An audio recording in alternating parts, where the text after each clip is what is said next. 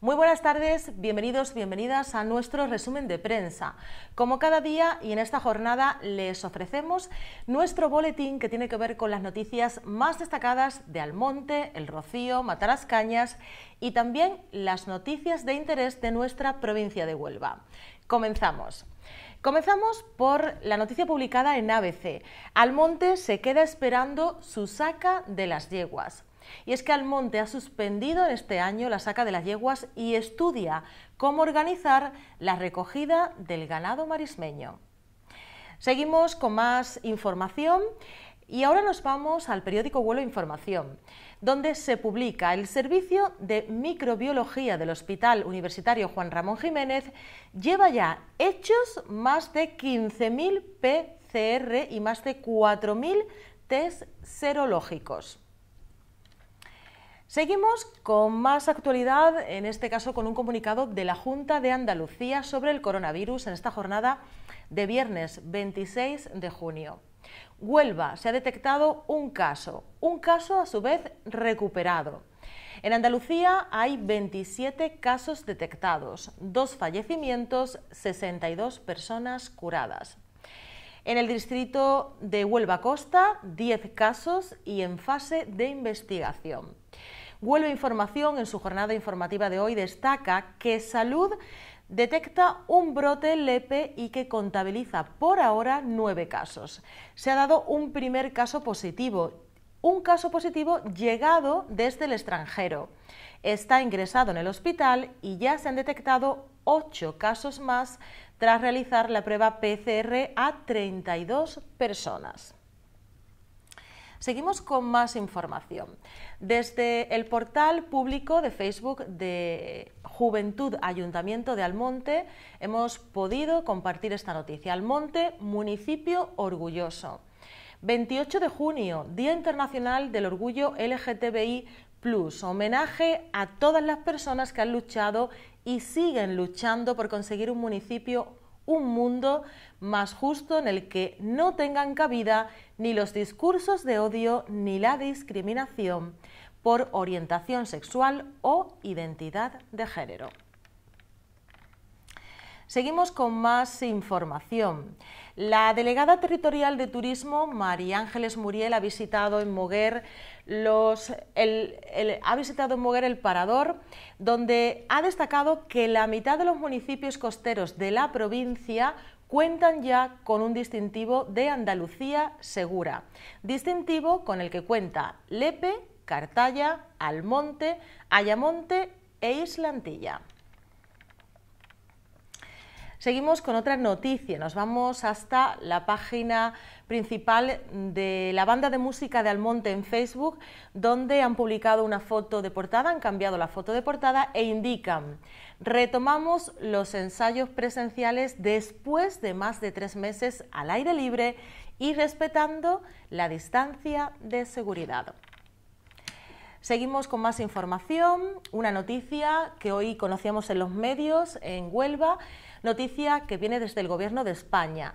La Seguridad Social efectúa este viernes el primer pago del ingreso mínimo vital. Un total de 1.307 hogares en Huelva serán beneficiarios, beneficiarios reconocidos de oficio procedentes de la prestación por hijo a cargo. Desde el 15 de junio se han registrado 3.755 solicitudes. En total, la Seguridad Social ha destinado 32 millones de euros en toda España a este pago en el mes de junio. Seguimos con un comunicado de APRED. Con motivo del 26 de junio, Día Internacional de la Lucha contra el Uso Indebido y el Tráfico Ilícito de Drogas, la Federación Andaluza Enlace y sus 90 entidades federadas con las que, eh, en las que se encuentra la Asociación de APRED de Almonte, han puesto en marcha una campaña para sensibilizar a la ciudadanía acerca de un consumo responsable de drogas, juego e Internet.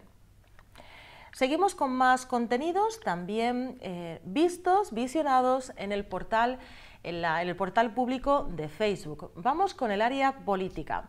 El equipo de gobierno en rueda de prensa en esta jornada ha destacado la unidad del equipo de gobierno en estos momentos e informan que seguirán trabajando por el municipio.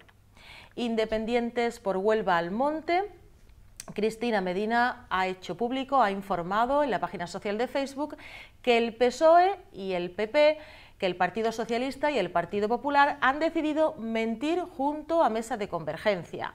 Ha declarado, seguiré luchando por la verdad y por una política limpia. Ilusiona, por otra parte, ha hecho también una publicación, ruegos y preguntas, con el encabezado, el titular La Feria de Matalascañas. Y declaran, ya que no se nos permite hacer ruegos y preguntas en los plenos, Ilusiona va a darle voz a los ciudadanos trasladando sus necesidades y problemas por esta vía. La primera pregunta es, ¿es necesario montar una feria en el Paseo Marítimo de Caño Guerrero? Hasta aquí seguimos con otro comunicado de la Hermandad Matriz de Nuestra Señora del Rocío de Almonte. Desde publicación desde el Grupo Joven. Ayer celebramos, han indicado, el fin de curso con los mayores del Grupo Joven y esta tarde lo haremos con los más pequeños. A pesar de estos últimos meses raros, hemos vivido grandes momentos en este curso de formación, convivencia, experiencias y fe. Gracias a todos los que formáis parte del grupo joven de la Hermandad. Por otro lado, nos vamos hacia el periódico Huelva Ya, donde se publica los hoteles de Huelva prevén un 25% de ocupación en julio y un 36% en agosto. Seguimos a, su vez con la última información de esta jornada, publicada por la Asociación del Parque Dunar de Matalascañas. Este domingo han publicado Continuamos señalizando los senderos del Parque Dunar para el disfrute de todos y todas. Únete, apta para niños y niñas. La inscripción es obligatoria para la gestión de los seguros. Esta era una información de la Asociación del Parque Dunar de Matalascañas entre una de sus actividades. Hasta aquí el resumen que hemos hecho de este boletín informativo. Les agradecemos su compañía, su atención.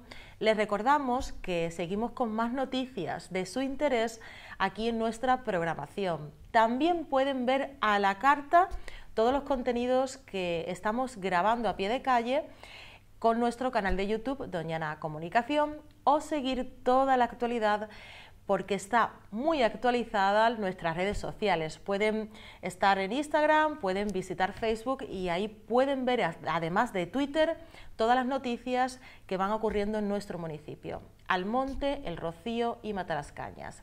Que pasen un feliz fin de semana. Volvemos el lunes con una nueva jornada informativa. Gracias.